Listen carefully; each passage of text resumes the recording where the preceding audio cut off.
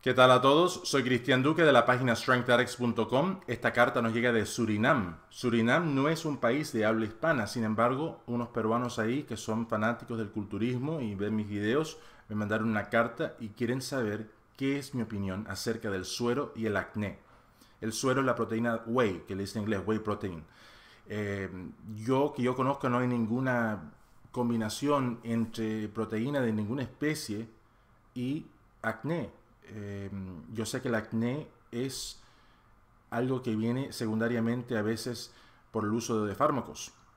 El acné también viene a raíz de ciertas comidas como el chocolate y también como la mantequilla de maní en ciertas personas, no en todas las personas.